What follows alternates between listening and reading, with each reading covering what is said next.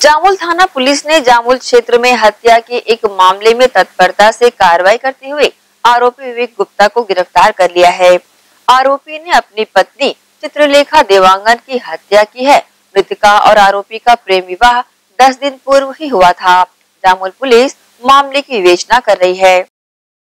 जामुल थाना पुलिस की हिरासत में मौजूद जामुल लक्ष्मीपारा निवासी हत्या के आरोपी इस युवक का नाम है विवेक गुप्ता। जिस पर अपनी पत्नी चित्रलेखा देवांगन की हत्या करने का आरोप है। आरोपी और मृतका का प्रेम विवाह दस दिनों पूर्व ही संपन्न हुआ था। आरोपी विवेक अपनी पत्नी के चरित्र पर शक किया करता था, जिसकी वजह से आए दिन मृतका चित्रलेखा से मारपीट भी करता था। घटना दिनांक को भी आरोपी ने मृतका से गंभीर मारपीट की, जिससे उसकी मौत हो गई। घटना के बाद फरार हुए आरोपी को जामुल पुलिस ने बियर बार से गिरफ़्तार किया। आरोपी को सख्त सजा देने की मांग को लेकर जामुल थाने में बड़ी संख्या में लोग एकत्र हुए। इस पूरे मामले की जानकारी सीएसपी छावनी, कौशलेन देव पटेल ने दी।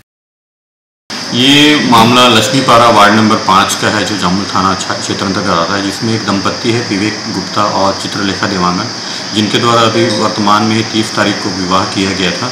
और इसमें उसके पति विवेक गुप्ता के द्वारा आ, महिला के ऊपर के चरित्र पर शक करते हुए उसको मारपीट करके उसकी हत्या की गई है।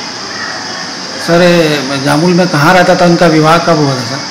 विवाह अभी तीस तारीख को ही हुआ था और ये लक्ष्मीपारा वार्ड वार्ड नंबर पाँच के निवासी थे ये। सर प्रथम दृष्टिया क्या लगता है कि क्या वजह हो सकती है हत्या को लेकर? प्रथम दृष्टिया और आरोपी से बातचीत करने पे उनके द्वारा अपनी वाइफ के चरित्र पर शंका किया जाता था, जिसके आधार पर फिर लगातार मारपीट किया जाता था, प्रताड़ित किया जाता था, उसी के शक के आधार पर मारा गया। मृतका के एक रिश्तेदार ने अपनी प्रतिक्रिया दी। मैं चाहता हूँ कि शासन प्रशासन से न्याय उचित न्याय मिले और लड़के को जिसने मर्डर किया है उसको कड़ी से कड़ी सजा मिले। फांसी होना चाहिए। फांसी होना चाहिए उस लड़के को ताकि दोबारा किसी भी के बहन और बेटी के साथ ऐसा ना हो। उसको जालसाजी में फंसाकर उसका मर्डर किया गया है झूठा शादी वादी करके अपना फर्जी उसके साथ रिलेशनशिप तैयार करके पूरा उसको मौत के घाट उतार दिया है। कड़ी से कड़ी कार्रवाई हो ऐसे आदमी को तो जान से मार देना चाहिए, फांसी पे लटका देना चाहिए चार आदमी के बीच में। यही मेरा अनुरोध है। बहरहाल हत्या के बाद आरोपी विवेक गुप्ता की गिरफ्तारी को लेकर जामुल थाना प्रभारी गौरव पांडे के नेतृत्व में थाने के स्टाफ की अहम भूमिका रही। ग्रैंड एशियन न्यूज़ के लिए संजय दुबे।